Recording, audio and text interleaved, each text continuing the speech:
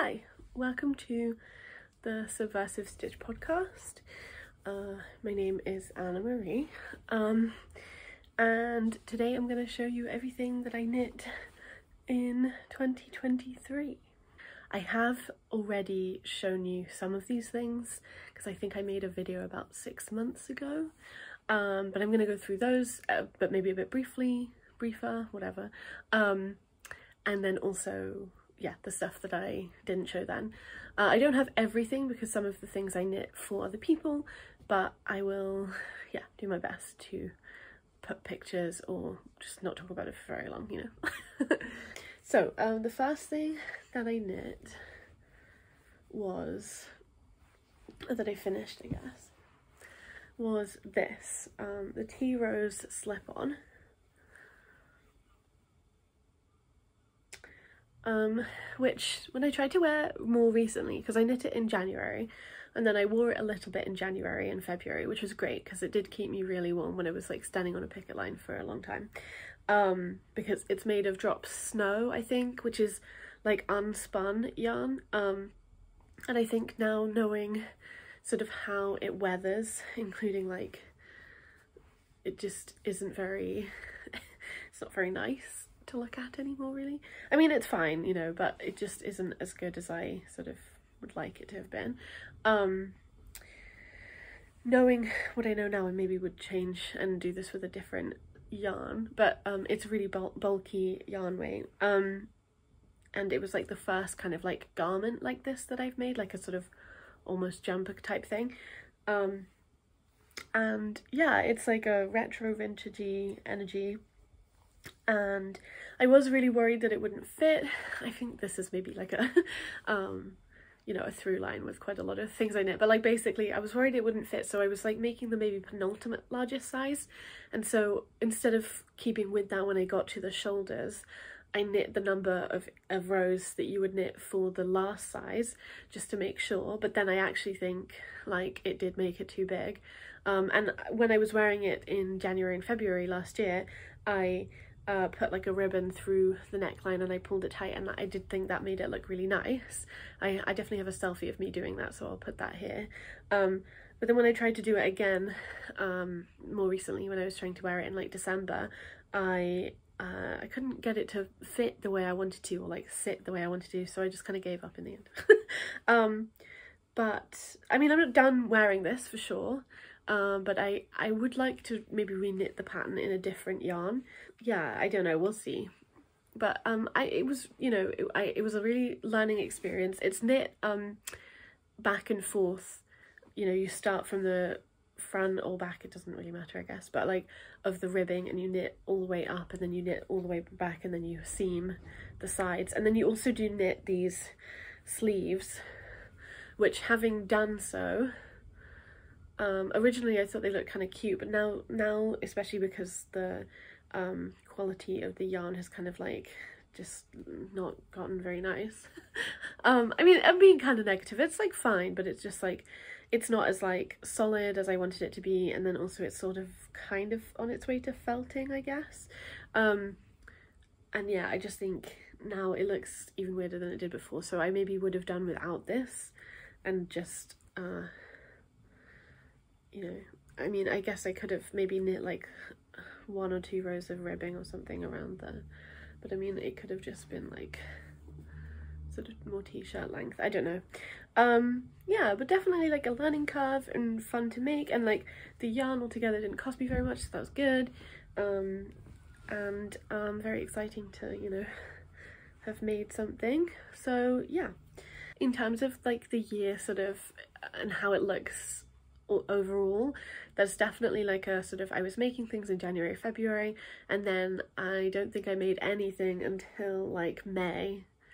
Um and that's partially because I had a lot of like chronic pain in my hands and stuff and I just kind of stopped being able to knit for very long at all uh, which was really sad and really hard and I didn't like it. Um so yeah. The next thing I made was this which I've definitely shown before you know looking scragglier and scragglier every day, but I mean, I kind of love it. So this is a modified uh, Look at My Holes by James N. Watts pattern.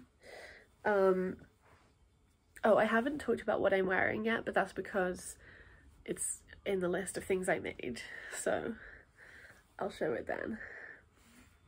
uh, yeah so I did this to use up um, a bunch of the um, frogged uh, yarn that I had from my Harry Styles uh, cardigan that I made in like 2020. Just one of the first garments I ever made and I, you know, I made a lot of sort of silly decisions in the long term with it. It was just, it was, I held this yarn double so it was just super super heavy. It also meant that whenever I washed it like it was just very, took ages to dry and I never really wanted to wear it. I had like a couple of good outfits with it and then I was like, yeah, I'm gonna repurpose this yarn because there's no point because I'm not wearing it. Um, so I made a look for my, like this is last year I made, or like sorry, the year before in 2022 I made a couple look at my holes um, for my friends. And then I, with the leftover of this, I made this dress, um, which I am really happy with. It got more wear obviously in the summertime. I am kind of struggling a bit with how to style it, uh, partially because now I would say I'm on like a kind of tznius Jewish dressing journey that um that maybe is a bit less uh okay with you know clothes that have loads of holes in.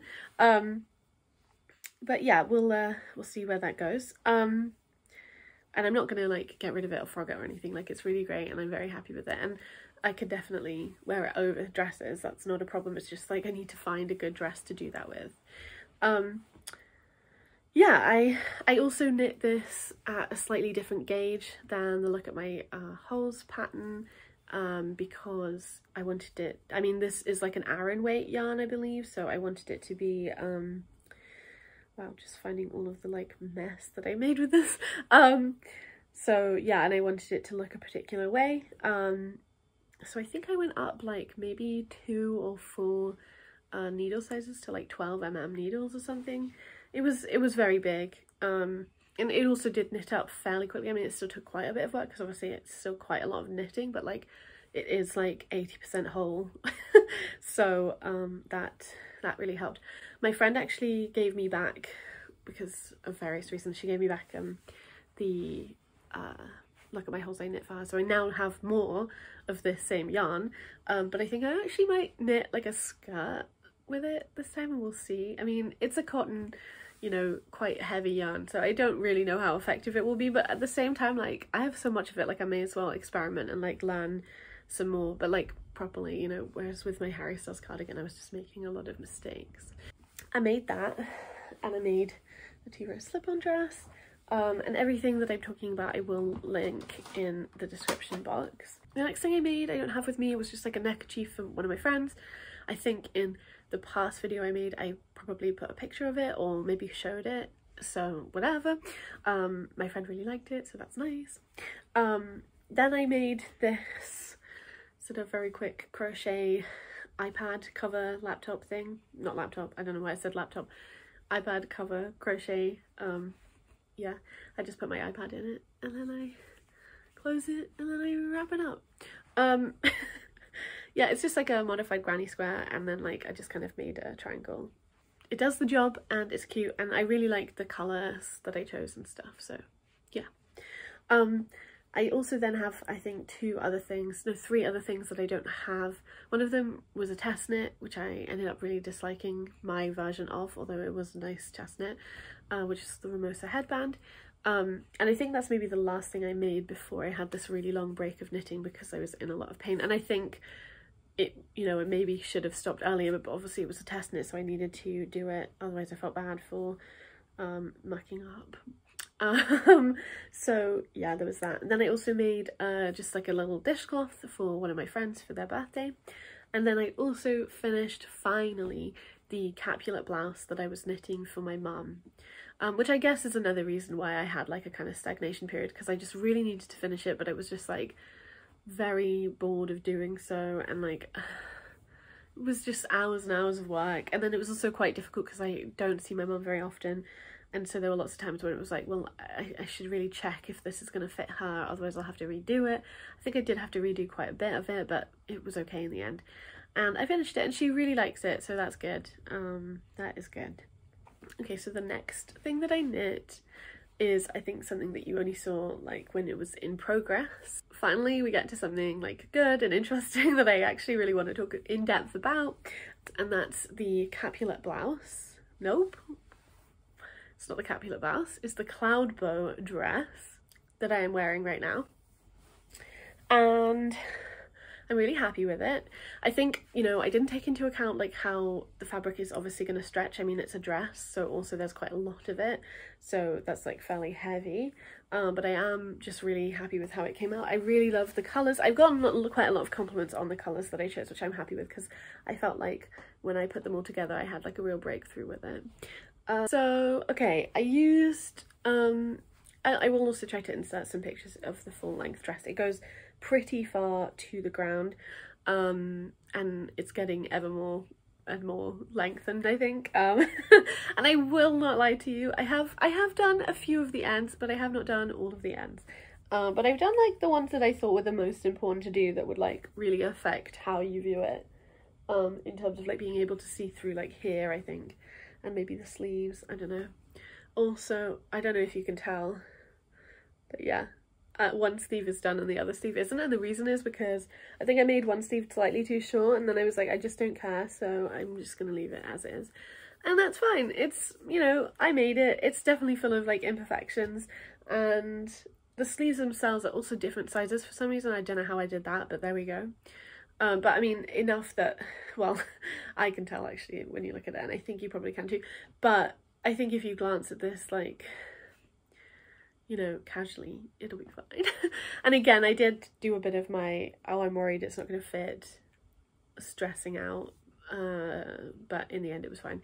Um, and like, again, I think because this is probably going to stretch a little bit at least, um, it will be fine, you know, for a, a long time.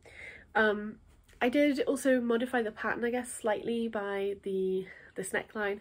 I just didn't really like how it looked I mean, basically, I think in the pattern you would like fold this over. You'd maybe knit a bit more and then fold it over and then it would be fairly like, like maybe like this. And I didn't really like that, so I just, in the end, like knit slightly more. I picked up more stitches, I think, and um, and then just like let it roll over like this. Um, and I think it's fine. I think it's nice. I, I feel like, to be honest, like the neck is maybe where my in experience comes most forward um but you know that's okay. I also think i actually overstretched the but this again because i was stressed that they wouldn't fit. These bits i knit first like these squares because it's knit square you pick up like you knit two squares you pick up along the edge of the squares for each arm and you do the sleeve and then you go around and then you knit the very long um uh dress you know skirt part. Um and because of that, well, um, no idea where I was, but um, uh, the point is that I finished it. That's not the point. But anyway, um, yeah, I think I started knitting it in May and then I finished it in September or something.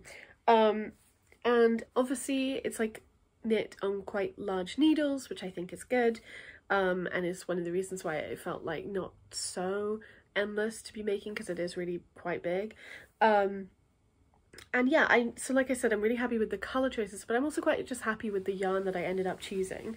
I do actually still have this much left of the linen that I knit the sort of whole thing through with, um, which is fine. I mean, there's not very much here. There's maybe, what, like mm, 20 grams maybe? I don't know. Um but i will maybe at some point figure out what to do with this. Um and then the other things that i knit uh it with uh i have this um which i actually this one i do have some left of. I hope you can kind of see the the different colors. So um it's a really lovely yarn. It's by Fabel Knitwear and it's called ask I think in Spring Meadow. I'll like correct myself if I'm wrong. Um maybe also in the description box. Um and then I also used just some of the this um Jamieson and Smith um sort of in a, like a purpley heathery kind of color to go along with it. I then have another Fabel Knitwear um, yarn, which is this mohair, like silk mohair, which is, I don't remember the name, but it's in, I think it's maybe in Capulet or something like that. It's like a pink and green and white um, mohair, which I really liked, and I used all of that up. Um, yeah, you can maybe get more of a sense of it here. Um, and I was just, yeah, really happy with how that came out. And then what else did I use? So did I say that I used like a drop? I also just used some of like a drops um, kid silk mohair that I had left it maybe in Moonlight or something, just because I was worried about running out of the mohair, which I obviously did, um, but then it ended up being like, I didn't need the white one very often. In fact, yeah, there's like maybe, I used it maybe like four stripes. so I probably could have not because I do have more of this. But I, I think it like adds, you know, it's just nice. Like I don't think it takes away from the design and I quite like it. I ended up doing two stripes of it when I brought it in and I quite quite like that because the whole point was that it was random which means in randomness there could be like that kind of like repeat um what else did I use did I talk I talked about that one I talked about yeah, I think that's everything um, that I used for it. This is just like a Woolyknit linen cotton cone, um, which I got years ago now. Um, and I do have a whole other 500 gram one of a different colour, like a pinkish colour, which I would still really like to use. I do actually have a couple plans for it maybe, but we'll see. Yeah but it was really great and like i'm just so happy with how it came out. I will say also one of the reasons why the colors working so well together and like people complimenting me on those is really nice for me is because I feel like they're quite excuse me I feel like they're quite subdued in a way that like I don't normally wear with colours like in terms of like you know the difference between this kind of colour and like this kind of colour is quite big. But um it still really worked. And like I really like wearing it. I, I do get a little bit itchy and I would prefer to be wearing something that like goes up here. So again a bit like with this I am kind of struggling to figure out the best things to wear under it and like how to properly yeah wear it. Um but I do have a couple dresses that I put on under it. I think it would look good. I do have like a beige dress that I think looks good under this but it's pretty short and it's also strapless and I don't really want that so if I could find another beige dress that is maybe like got like a neckline and his sleeve like has at least three quarter length sleeves and is a bit longer then that would maybe be perfect to wear under this but I don't know. We'll see what I can find and how I end up styling it. Um, yeah, is there anything else I want to say about it? Definitely my biggest project yet. And um, yeah, very cool. It's like kind of hilarious that I like still haven't knitted a jumper like properly, but I did knit two dresses in 2023. Then again, obviously like both of them were quite like large gauges and like have quite a lot of holes or just like aren't knit super fine or fingering or anything like that so you know but it's still quite a lot of yarn so yeah oh and I will say also I was really happy as well with how because I only had so I only had one of the um, spring meadow colour and I only had one of the mohair colour and I also yeah no that's it sorry. And as a result of that I wanted to use them in things that like really made them like shine. Um and I feel like I did well with this because they're like very present you know like it's it's a like this dress is made up by them in a in a nice way too I hope that made sense but you know like when something is like quite special and you only have a little bit of it and then you want it to be like focused on um when you do use it as opposed to kind of like oh yeah blended into the background like it it could be a different shade altogether it wouldn't really matter that much like I didn't want it to be like that so yeah okay so oh yeah okay now we go to the very like smaller project part of the year. So um, the next thing I knit was this collar number two, I think. Um, I got this pattern literally years ago. I tried to knit it in maybe 2020 or 2021 and I just could not get my head around it. Like it just didn't work. And I was using like yarn that I didn't really even like and I didn't like how it was coming together and looking. So I just sort of like parked it but I've really wanted some collars like this I have been looking for clothing that has this kind of collar just already in it but I just decided to give up and be like fine I will make it and this looks cute um so I did and I made this out of knitting for olive silk and I do still have like basically half of a ball of yarn, ball of yarn of that left over. It's, you know, it's really nice. I'm really happy with how it came out. definitely made a couple mistakes, but I think like overall it looks great. And I also quite get often uh, compliments when I wear this. Um, I can't remember if I did the like closure totally different to how the pattern says, but um, yeah, perfect. Let's just pretend you can't see the lump of my other collar underneath. But yeah, so um, it's just, yeah, it's really nice. It's really simple. I really like this shade of pink. I mean, I kind of wish it was like either darker or lighter pink, I guess. But, um, but I still think it's really nice. I can't remember what colour it is, but I will indicate as get as well. I think I knit the largest size. I think there's three sizes in the pattern. Um, and I have been wondering whether I should just knit another one in this colour and give it to somebody else or I should knit a smaller size and see because I mean there is space it's not like it's tight around my neck and it'd be interesting to see or use it for a different project altogether which I actually might because I think I might knit a curio collar and I thought it could be nice to use something silk so that like at least for the part that's like against my skin because again like I have sensitive skin especially around my neck so wearing like wool is not good which is also one of the reasons why I ended it with the linen but I actually don't know how effective that was in stopping it from being itchy because I'm a bit itchy. But yeah.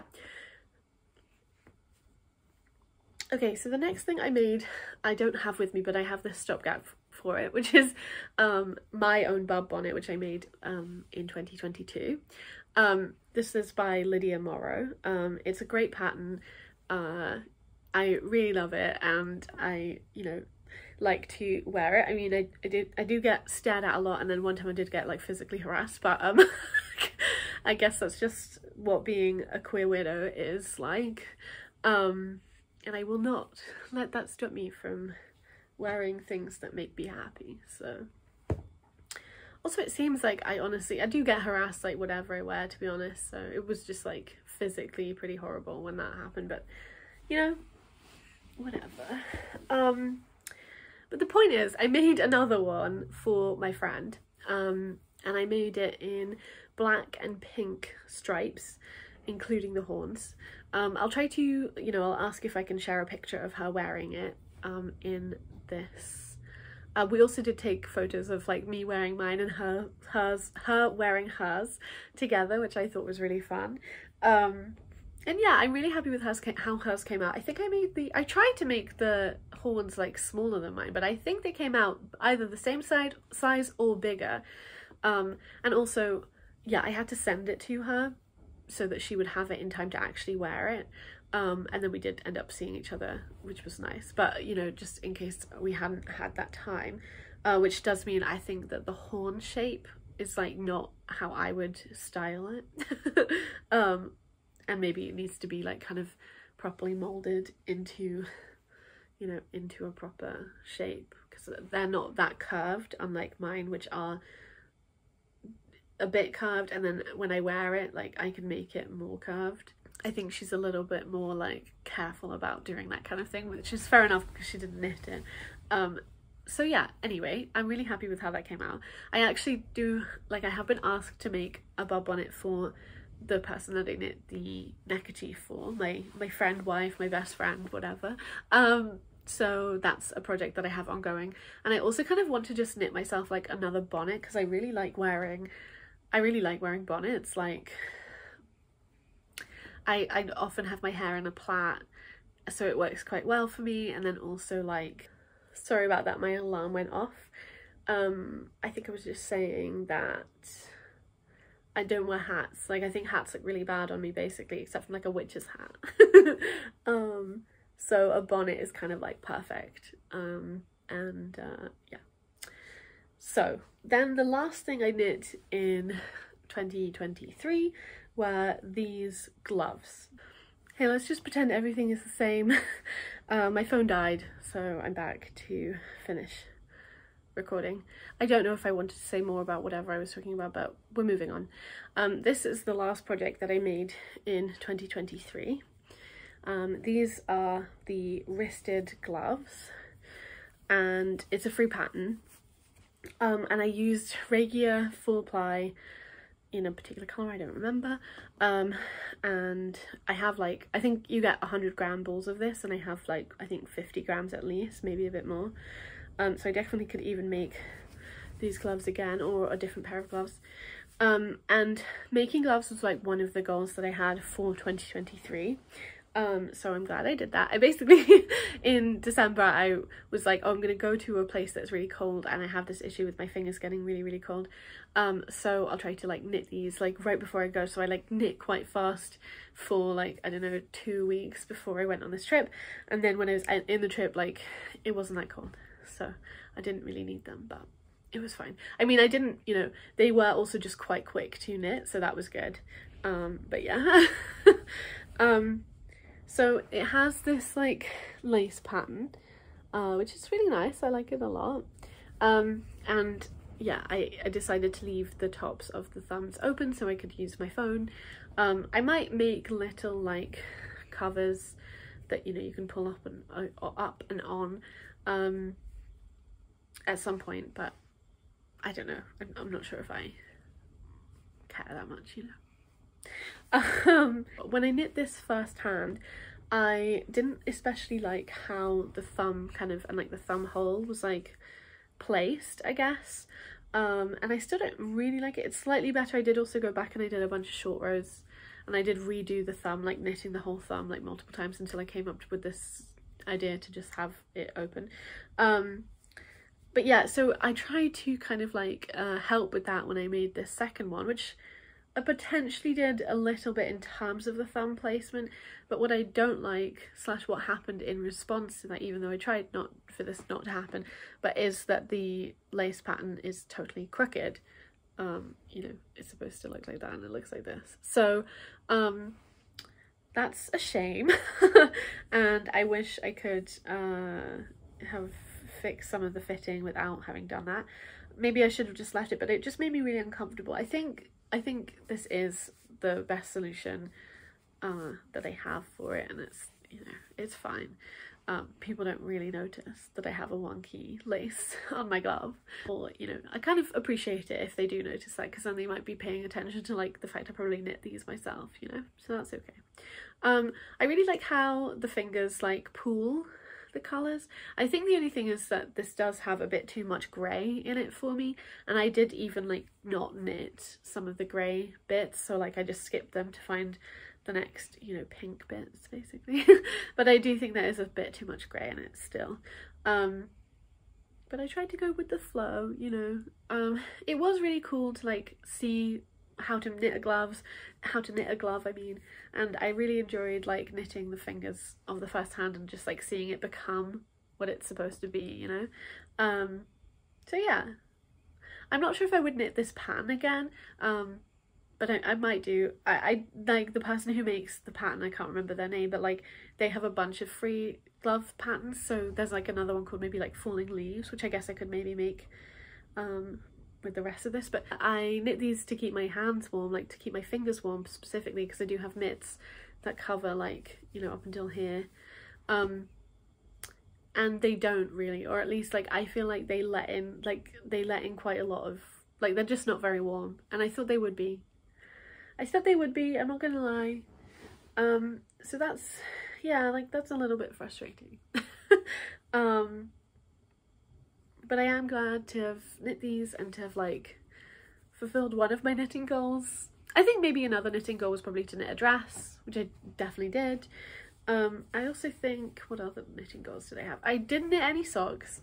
I did start, actually, I did start knitting a sock out of this like spooky Halloween yarn from Hobbii, uh, which I really like actually. I really like the colour combination and stuff.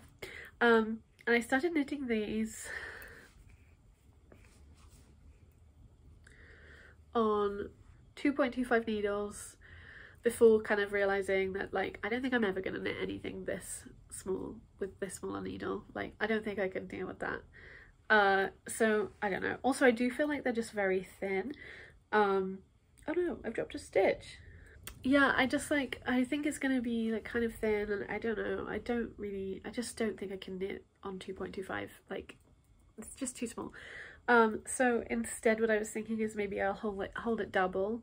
Also because the yarn is fingering, but it's not very thick at all. Like it's really obviously quite like weak and it's also not very, like, I don't know. I mean, it's fine. It's, you know, it's Hobbii Halloween yarn. So yeah, I was thinking I could maybe hold it double. I could go up like maybe 0.5 needle size and maybe that would be a nicer fabric and also like wouldn't make me go insane from how long it would take to knit a whole sock. I just can't, it's just, it just takes forever. I just, I couldn't, I can't do it, I don't think. Maybe one day. Yeah, I did also want to knit some more like vintage stuff, uh, which didn't really happen. Um, obviously part of that was because from like February into May I was just like not really knitting and not able to knit and so I just like you know couldn't do a lot of the projects that I wanted to and that's fine like you know I guess with chronic illness you just have to accept that like no amount of planning is gonna necessarily like stop you from being in pain if you're in pain you know like if you can't do something. Um and I guess I do take I take a few more precautions I think when knitting now because of that experience. Like I do try to just have a break even if I'm not in pain. Um whilst knitting, you know, after like 15, 20 minutes. Um, and I try to like remember to do some stretches and I try to like sit nicely and I try to, yeah, give my hands a break. I sometimes take like rest days, um, even if I do really want to knit, like I try to just have like a day at least. If I'm like knitting, you know, every day or something, um, I try to have one where I'm just like not gonna knit at all. Sometimes I use Shabbat for that, but sometimes I do knit on Shabbat because I like knitting.